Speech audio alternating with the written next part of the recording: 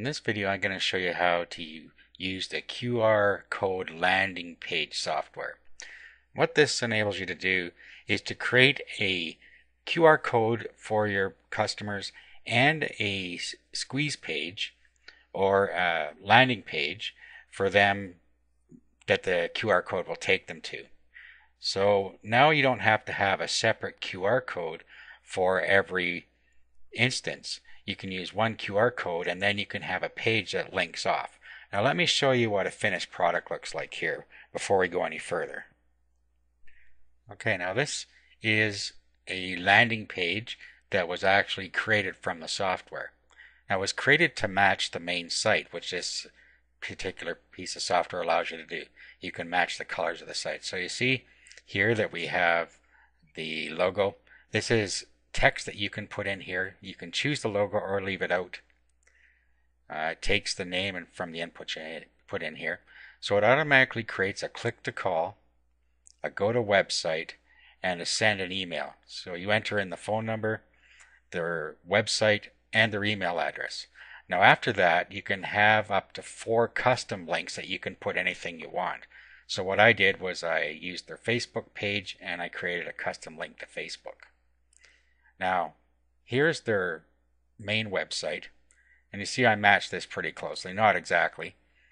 I actually could have changed the menu colors and matched them this way, but I made them black instead. Okay, so that's what you can do with this, and that's what you end up with when you're done. Okay, so let's go back to the software and continue building here. Now you can, it'll make the QR code for you as well. So you can choose the size here. The dimensions are whatever you choose here. And it's a square, so you just have to put one in. So default's 150, you can go up to 500 pixels. I'll leave it at 150. Let's click next. The landing page. This is where you're going to upload the landing page when you're done. So you put a URL in there. Okay, next the name of the contact. That's straightforward the phone number for the contact,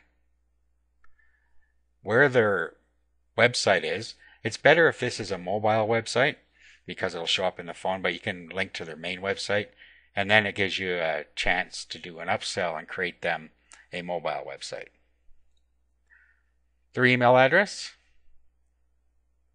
put that in there for the contacts. Now, define up to four additional links. This is what I was telling you about. So you can pick zero if that's all you want. If you only want the click to call, the website, and the email links. If you want to put some more in, you can define up to four more. So let's do one. We'll put the Facebook mobile page in here. Click next. The text for that link, so you saw that on the site here. That's where that's showing up. Any text or HTML you want in the footer. So you can put any text in here you like or leave it blank. It's optional. Any text you want above the menu here.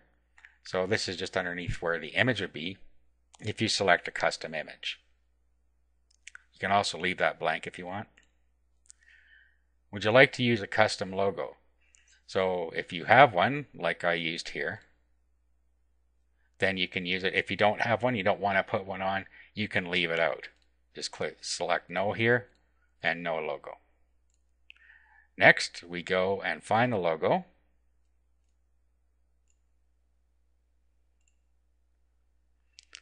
Okay, the color of the text in the menu. So default is white. So that's this text. Okay, now we can choose different fonts here.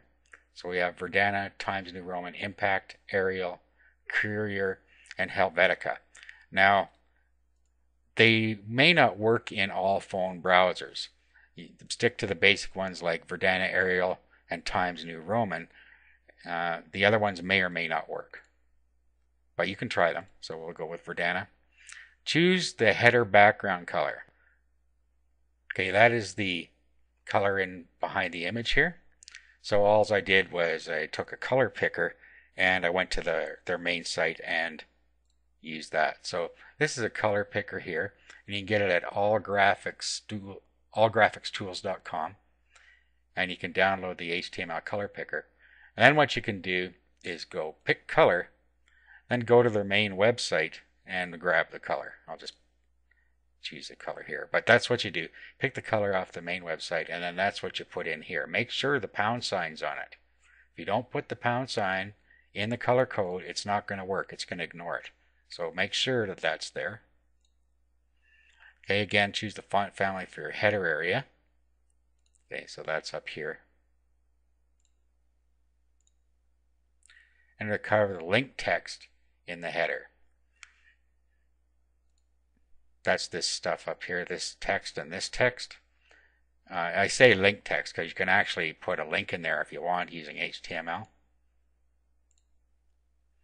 Select the footer font family. Okay, so that's down here. Okay, down here, this is all I have in the footer right now. But this is the font family for the text here.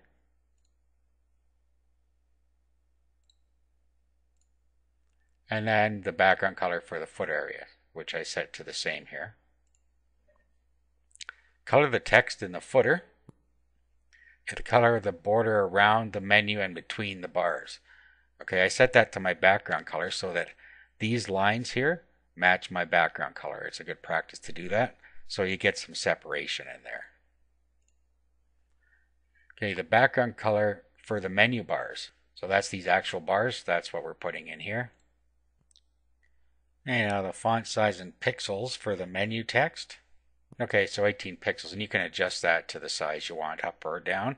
If you get a longer string of text, you may need to adjust it down. Okay, enter the word yes to continue, otherwise go back to make changes. Let's just generate. Where we're going to put it, I'll put it in test squeeze here. Okay, now what it does is it opens up the files here. And also we have a window here. It says click here, then right click on the image to save it. Okay, so it actually brings it up in the browser for you. Now you can save this to your computer somewhere. Just save picture as and save it. So all you would do is scan this to get to your site. Okay, now over to the files. All you have to up, do now is upload these. Don't upload the one that's called QR code.html. What this lets you do is anytime you bring this up, it'll recreate the QR code for you in that size. There it is. Okay, so that's all that does. So don't upload that one, but upload these rest of them, images, index, and style. Okay, so let's go upload that. Okay, so this is a free FTP program called Composer. So you need to FTP your files up. So just select the three files then put them up on the server where you said you're going to put your QR landing page, and there it is. Now, when we bring that up in a phone emulator, let's reload one here. Okay, so this is where I told it I was uploading the squeeze page. So let's bring it up in a phone now.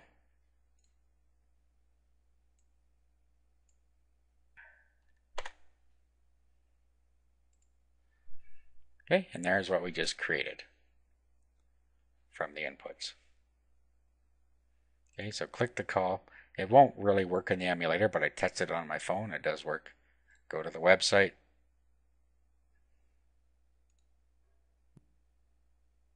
Send an email. Okay, as you see, it's opening my real email here. But it would open the phone's email. It's just doing this because, of course, I'm running this on my computer. And Facebook goes to the mobile Facebook. Okay, so that's how you can use the QR landing page generator to create both a QR code for your customers and a landing page to match their website. Now, if you just take the defaults, it's going to create a black and white site with no image. So what would happen if you just took all the defaults, didn't put any custom colors or any image in here? You would have a white background around where this image is here. You wouldn't have the image, but you would have the text in black with the white background. And then this would be the same here. It would be black and white like you see it. And then down here, this would be white. Okay, so that's the only difference. Now you can do this so that you can pitch the single QR code to your customers and show them how you can put up a landing page for each of their employees if they want, because they can each have their own landing page. So this makes it a lot better for companies to be able to do it this way. Now I'm doing this one for a realtor, and of course each realtor will have their own landing page where they'll have their own click to call, and then they'll go to their main website. Now this could also go to a listings page on their main website. So you could just put the URL to their listings or to a special page for every contact. And then down here, of course, you can customize all the rest of these.